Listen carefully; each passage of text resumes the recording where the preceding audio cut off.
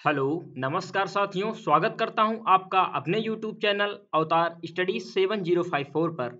मैं विनोद प्रजापति आज के सेशन में हम चर्चा करने वाले हैं न्यूटन के सेकंड लॉ के बारे में। हमने आपको न्यूटन के गति के दूसरे नियम के बारे में इसके पिछले वाले वीडियो में आपको उसके पर, उससे परिभाषित किया था। आज हम उनके उदाहरणों और न्यूटन के दूसरे नियम के कुछ बिंदुओं के बारे में चर्चा करेंगे। तो चलिए शुरुआत करते हैं आज के सेशन की। देखिए दोस्तों, पहला बिंदु हमारा क्या कह रहा है कि द्रव्यमान व वेग के गुणनफल को रेखीय संवेग कहते हैं, जिसको हमने कल ही बता दिया था आपको P बराबर एम के फॉर्म में। दूसरा बिंदु जो हमारा है, वह कह रहा है, रेखीय संवेग की एसआई यूनिट क्या होती है? किलोग्राम मीटर प्रति सेकंड क्या होती है? रेखीय संवेग की एसआई यूनिट किलोग्राम मीटर प्रति सेकंड होती है। बहुत ही महत्वपूर्ण है। ये कई बार एग्ज़ाम में पूछा चुका है कि रेखीय संवेग की जो एसआई यूनिट होती है, वह क्या होती है? तो आपको याद रखना है, किलोग्राम, मीटर, प्रति सेकंड इसका जो एसआई मात्रक होता है होता है। द्रव्यमान कैसी राशि है? तो द्रव्यमान एक अदिश राशि है। वेग आपसे पूछेगा कैसी राशि है? तो वेग भी यह एक सदिश राशि है। आपको ध्यान रखना होगा कि द्रव्यमान कैसी राशि है? द्रव्यमान एक अदिश राशि है और वेग आपसे पूछेगा एग्ज़ाम में कि वेग कैसी राशि है तो वेग यह एक सदिश राशि है। आगे बिंदु पर हम देखते हैं मित्रों। रेखीय संवेग रेखीय संवेग की राशि कैसी है? रेखीय संवेग की राशि कैसी है? दिख रहा है आपको कि रेखीय संवेग की जो राशि है, वो क्या है? सदिश। आपको तीन राशियाँ याद करनी है। देखिए कि वेग कैसी राशि है? सदिश राशि है।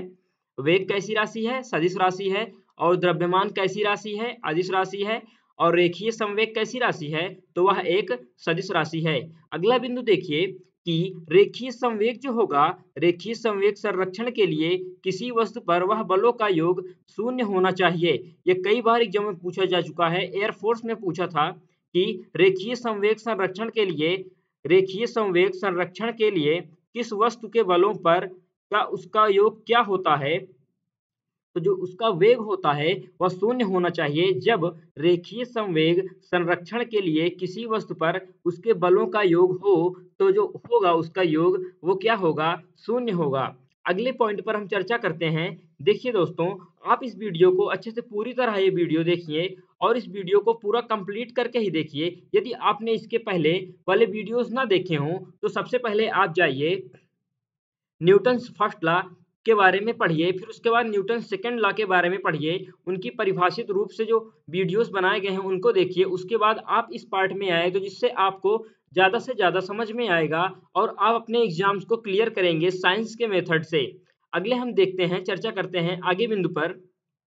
तो देखिए दोस्तों, जो हमारा अगला बिंदु है, वह क्या कह रहा है कि किसी वस्तु पर, किसी वस्तु पर लगने वाले वह बल सॉरी वह बल संवेग दर के समानुपाती होते हैं। क्या होते हैं? किसी वस्तु पर लगने वाला बल, वह बल संवेग दर के समानुपाती होते हैं, जिसे हम बाहरी बल के रूप में भी जानते हैं। बाहरी बल के रूप में भी जानते हैं, इसका मान होता है समानुपाते डेल्टा पी अपान टी। क्या होता है कि बाहरी बल बराबर, बाह्य बल बराबर, बाह्य बल बराबर, क्या होता है? समानुपाती होता है। Delta P is equal T यदि हम इस डेल्टा पल, डेल्टा को निकाल दें तो बाह बल बाह बल इज़ इक्वल यदि हम डेल्टा को हटाकर बराबर का चिन्ह यहाँ पर लगाएँगे तो ये क्या हो जाएगा? के में परिवर्तित हो जाएगा, जिससे ये क्या हो जाएगा? डेल्ट के डेल्टा पी अपान टी और वहीं हम के को हटा देंगे तो ये क्या बनेगा? डेल्टा पी अपान टी आपको ज्ञात हो रहा होगा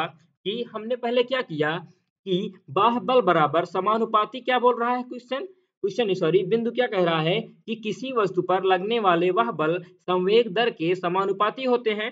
तो कोई बाहरी बल है, इसके समानुपाती है डेल्टा पी अपान टी जब हम समानुपाती का चिन्ह लगाएँगे, उसे कांस्टेंट करेंगे तो के का चिन्ह लगाएँगे बराबर करके तो क्या बनेगा formula delta P upon T delta P upon T और वहीं हम कांस्टेंट की वैल्यू को हटाएँगे तो हमारा क्या बनेगा? Delta P is equal T जहाँ पर जो ये बाहरी बल लग रहा है, वह एक कैसी राशि होगी? तो वह एक सदिश राशि होगी। ये भी ध्यान रखना है आपको कि जब कोई वस्तु पर लगने वाले वह बल जो संवेग दर के समानुपाती होते हैं तो उसमें लगा हुआ जो बाहरी बल होता है, वह एक सदिश राशि का निर्माण करता है। ये ध्यान रखना है आपको। और यहीं पर देखिए, यदि इसी सूत्र में, इसी फॉर्मूले में यदि द्रव्यमान को नियत कर दिया जाए तो क्या होगा? ध्यान से समझिएगा आप सभी लोग कि यहीं पर यदि द्रव्यमान को नियत कर दिया जाए, मान लीजिए बाहरी बल है आपके पास, बाहरी बल है कोई, बाहरी बल है और फार्मूला क्या है? Delta P upon delta P upon T वहीं पर क्या कह रहा है कि एम को नियत कर दिया जाए, द्रव्यमान मतलब मास। क्या है? मास। मास को क्या बोलते हैं? द्रव्यमान। यदि उसे नियत कर दिया जाए तो डेल्टा हो जाएगा। नियत करने पर एम वी अपान टी का रूप धारण करेगा कि नहीं? मित्रों, देखिए, जब द्रव्यमान को नियत कर दिया जाए तो उसी फॉर्मूले में डेल्टा पी जो होगा, वो पी के स्थान पर क्या होगा? डेल्टा बाहर हो जाएगा और वहीं पर एम वी अपान टी का रूप धारण करेगा, जिससे यह उदाहरणार्थ को समझने में आपकी मदद करेगा। अब देखिए, अब यदि m कांस्टेंट हो, m को हम कांस्टेंट कर दें, देखिए दोस्तों, ध्यान समझिएगा। यदि हम यदि हम m को कांस्टेंट कर दें, f is equal F is equal M into वेग परिवर्तन वेग परिवर्तन वेग परिवर्तन बटे समय। हुआ कि नहीं कि यदि हम यहाँ पर m को क्या कर दें? कांस्टेंट कर दें। कांस्टेंट कर देंगे तो क्या होगा? F इज़ इक्वल वेग परिवर्तन, वेग वेग परिवर्तन बटे समय। ये किसका मात्रक है? सॉरी ये किसका फार्मूला बन रहा है? त्वरण का। त्वरण त्वरण का तो त्वरण को हम क्या बोलते हैं? एक्सेलरेशन ऐसे प्रदर्शित करते हैं। वहीं पर क्या होगा? एफ़ इज़ इक्वल एम है और इनटू इसके पूरे स्थान पर क्या हम ए लिख सकते हैं? देखिए दोस्तों ए लिख सकते हैं। तो क्या फार्मूला बना? न्यूटन के सेकेंड लॉ का जो मुख्य फार्मूला बनेगा वो क्या बनेगा? F is equal M A क्या बनेगा? F is equal M A की कोई फोर्स हो, कोई बल हो या बाहरी बल हो, उसके द्रव्यमान और उसके त्वरण का जो गुणनफल होगा, वो न्यूटन के सेकेंड लॉ को दर्शाएगा। आपको समझ में आ चुका होगा कि F is equal M into वेग परिवर्तन बटे समय है तो वेग परिवर्तन बटे समय किसका सूत्र होता है? त्वरण का होता है। त्वरण को हम किससे मापते हैं? त्वरण को हम ए से प्रदर्शित करते हैं या एसेलरेशन जिसे जाना जाता है। यदि ए इसका पूरा मान होगा तो यहाँ पर m इंटू वेग परिवर्तन बटे समय है तो वेग परिवर्तन इंटू समय के स्थान पर हम ए को यहाँ पर रख देंगे तो हमारा फार्मूला का निर्माण हो जाएगा, जो f is equal M A कहलाएगा। आगे बिंदु पर दोस्तों हम चर्चा करते हैं, आपको समझ में आ गया होगा कि इस सूत्र का निर्माण कैसे किया गया। बिंदु को ध्यान से देखिए और समझिए। एग्ज़ाम में ये भी पूछ लेता है, छोटे एग्ज़ाम से यूपी पुलिस है, उसमें पूछा था ये कि बल एक कैसी राशि है? तो बल यहाँ एक सदिश राशि है। क्या है? बल एक सदिश राशि है और बल का मात्रक तो सभी को पता होता है कि बल का मात्रक जो होता है, वह न्यूटन होता है और बल का सीजीएस पद्धति में जो मात्रक होता है, वह डाइन होता है। बेहद ही इंपॉर्टेंट है किसी कई लोगों को यह नहीं पता होता, उनको यही पता होता है कि बल का मात्रक जो होता है, वह न्यूटन होता है। लेकिन आपसे एग्ज़ाम जो होगा, वो थोड़ा कंफ्यूजनेस कर देगा, थोड़ा वो घुमा देगा प्रश्न को और आपसे पूछ लेगा कि बल का सीजीएस पद्धति में मात्रा क्या होता है तो डाइन होता है। एक मिनट वेट कीजिए थोड़ा।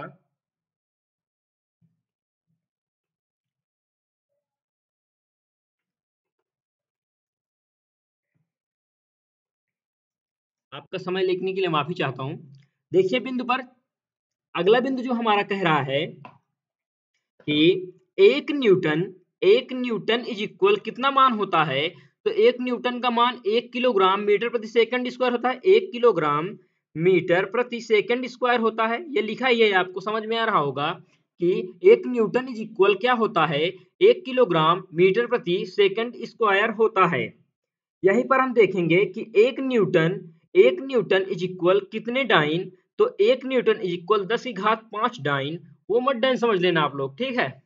तो आपको याद रखना होगा कि एक न्यूटन बराबर कितने डाइन के बराबर होता है? तो एक न्यूटन बराबर दस की घात पाँच डाइन के बराबर होता है। और यहीं पर हम जानेंगे कि आवेग का फार्मूला क्या होता है? बल इंटू समय या बल इंटू समय। इसे हम विस्थापन के रूप में भी जानते हैं, लेकिन नहीं, जो यह फार्मूला क्रिएट होगा, वो आवेग इक्वल बल इंटू समय का ही रूप लेगा।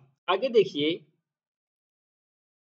जो द्वितीय न्यूटन्स के दूसरे नियम के उदाहरण हैं, वो समझेंगे कि गेंद पकड़ते समय सॉरी गेंद पकड़ते समय खिलाड़ी अपने हाथों को पीछे की ओर खींच लेता है। क्यों? ना तो कारण क्या है? ये लिखा हुआ है। आप समझिएगा, उसके बाद हम आपको समझाएँगे। ऐसे पढ़ रहे हैं, समझिएगा आप। कि तेज गति से आती हुई गेंद का संवेग अधिक होता है, इसलिए उसे रोकने के लिए संवेग को शून्य तक कम करना होता है। गेंद पकड़ते समय हाथ पीछे की ओर खींचने के कारण तो संवेग शून्य करने के लिए अधिक समय मिल जाता है और उसे चोट नहीं लगती। क्या आपको समझ में आया? क्या आपको यह समझ में आया कि जो इसका उदाहरण और यह कारण समझाया गया है, आपको समझ में आया? यदि आपको समझ में आया हो तो आप कमेंट सेक्शन में ज़रूर बताएँ। हाँ सर समझ में आ गया। तो आगे हम अपनी भाषा में इसे समझाएँगे कि यदि तेज गति से कोई गेंद आ रही है तो आप क्या करते हैं? थोड़ा यदि आप आगे की ओर हाथ बढ़ाकर कैच लेंगे तो आपकी उंगलियों में चोट भी लग सकती है और आपकी उंगली टूट भी सकती है। क्यों? क्योंकि जो गेंद होती है, उसका जो वेग होता है, वह बहुत अधिक होता है। होता है कि नहीं? जो उसका वेग होता है, बहुत अधिक होता है। लेकिन यदि आप धीरे धीरे उस अपने हाथ को पीछे की ओर ले जाएँगे तो उसका जो वेग होगा वेग होगा, वो उसमें आने में समय लगेगा, जिससे उसका वेग जो होगा वो कम हो जाएगा। हो जाएगा, और आप हाथ को पीछे से लेकर गेंद को आसानी से पकड़ सकते हैं, जिससे आपके हाथों में चोट नहीं लगेगी। होगा, जब आप पीछे की ओर खींचेंगे तो जो संवेग होगा उसका शून्य हो जाएगा, जिसके कारण आप गेंदी को आसानी से पकड़ सकते हैं। और आपको चोट भी नहीं लगेगी। तो यही उदाहरण है कि तेज गति से आती हुई गेंद को हाथ को पीछे ले जाकर कर तो पकड़ा जाता है।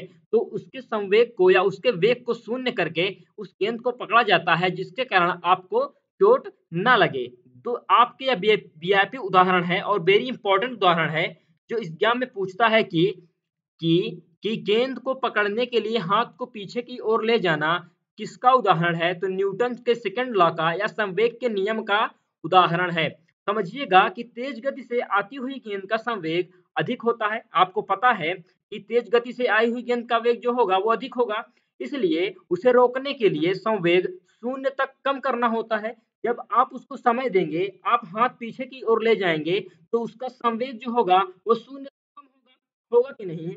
जब शून्य तक कम हो जाएगा तो आप जब गेंद पकड़ने के लिए हाथ को पीछे की ओर ले जाएँगे तो जो गेंद होगा, उसका संवेग तो शून्य हो चुका होगा और वह आपके हाथों में आसानी से आ जाएगा और उस गेंद को और आपके हाथों के बीच का जो समय होगा, वो भी अधिक मिल जाएगा, जिसके कारण आपको चोट नहीं लगेगी।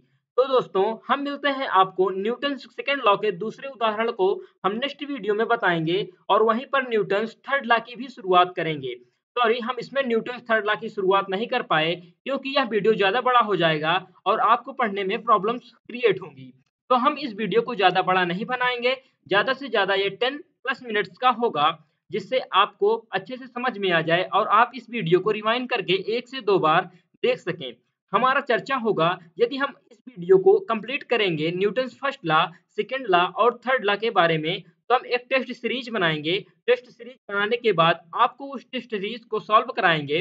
तो आपको उसमें पता चलेगा कि आपने उस टेस्ट सीरीज़ में कुल कितने क्वेश्चन सॉल्व किए हैं। अब बताएँगे कि आपने कुल कितने क्वेश्चन सॉल्व किए हैं। तो कमेंट सेक्शन में आप लोग ज़रूर बताइएगा। और हाँ यह वीडियो आपको अच्छी लगी हो तो इस वीडियो को आप ज़्यादा से ज़्यादा शेयर कर दें। और यदि आप हमारे यूट्यूब चैनल पर नए हैं तो हमारे YouTube channel Avatar study seven zero five को ज़रूर सब्सक्राइब कर लें, जिससे हमारा नोटिफिकेशन आपके मोबाइल फ़ोन तक पहुँच जाए। तो हम मिलते हैं अगले वीडियो में, तब तक के लिए नमस्कार, जय हिंद, जय भारत।